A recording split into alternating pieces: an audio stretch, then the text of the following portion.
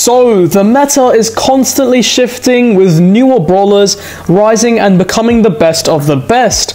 This video features the top 5 best brawlers to be playing right now, so without further ado, let's begin.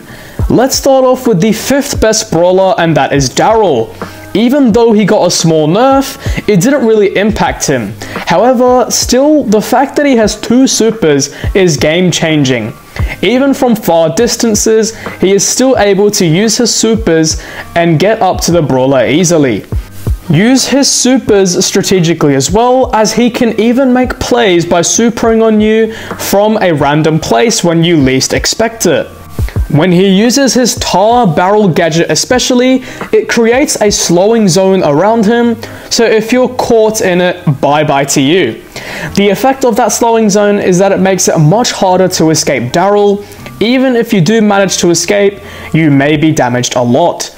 Next up we have Surge. Surge has still maintained a good spot in the meta and has gone a bit higher because of brawler nerfs. Surge is and always has been a versatile brawler.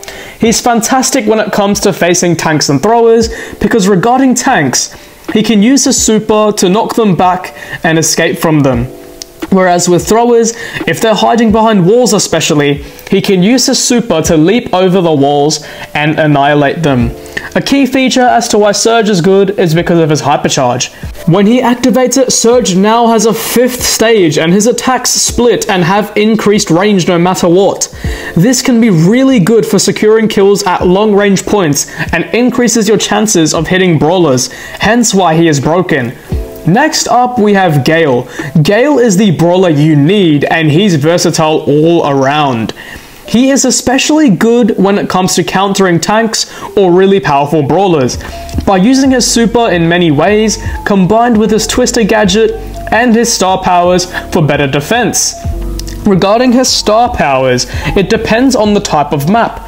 For his freezing snow star power, use it in more open maps so it prohibits enemies from pushing up and with his blustery blow star power, use it in maps that have a good amount of walls since there will be places that Gale can stun them at, which effectively works in his favor.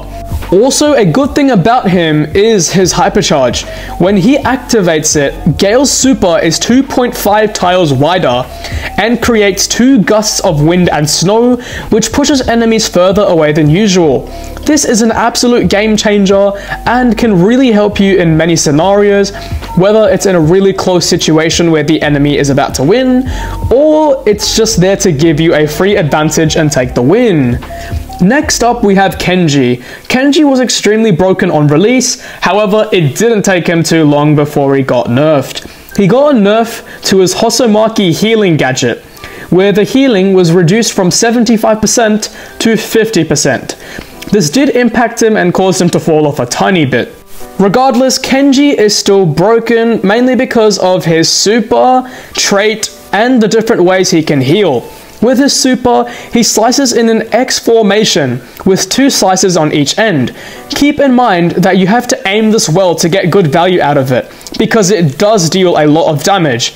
It is also important to master his main attack as he attacks with two different styles, a dash and a slash. With his trait, Kenji heals from any target he hits, so that could be opponents, turrets, heist safe, whatever you can name. So the more targets you hit, the more healing you receive, which is good for you.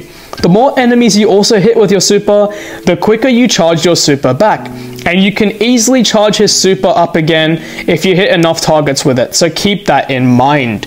Last but not least, the best brawler as of right now is Moe. Moe is an interesting brawler with a versatile kit that can be quite powerful, but requires precision and timing to fully leverage. His main attack is tricky to master due to the way it deals damage. His main attack involves throwing a stone that then breaks into four smaller rocks, mid-air in a cross pattern. On impact, the smaller rocks break into even smaller rocks, allowing for multiple hits. However, this attack is highly inconsistent, because if Moe's rocks hit an enemy directly at point blank range, it can deal massive damage, as more rocks hit the target. This makes him lethal up close. From mid-range, the attack is harder to aim and you need to time it so that the rocks explode just right to maximize damage. And at long range, his attack often deals less damage as fewer rocks connect with the enemy. His drill super is good because Moe can cover a lot of ground quickly, allowing him to get up close to enemies. At the end of his super, Moe knocks back enemies as well. Moe is immune to most forms of damage when drilling underground.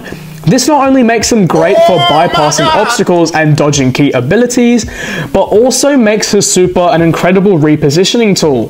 When it comes to his star power, go with skipping stones. Bruh. This star power makes Moe's basic attack bounce one more time, which means more damage and higher area control. It can make a huge difference in specific maps where bouncing rocks off walls lets Moe zone out enemies.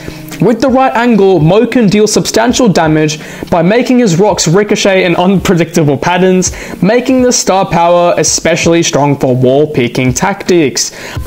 Alright everyone, so that's it for today's video. I hope you all enjoyed. Let me know down below in the comments if this was a valid tier list, but if not, share your opinions on brawlers that could have made it and why I will consider them as well. Be sure to like and subscribe to the channel, join the Discord server, follow all of my socials, and I'm going to be doing a giveaway in a month's time, so be tuned for that. Thank you everyone, and see you guys later. Peace out.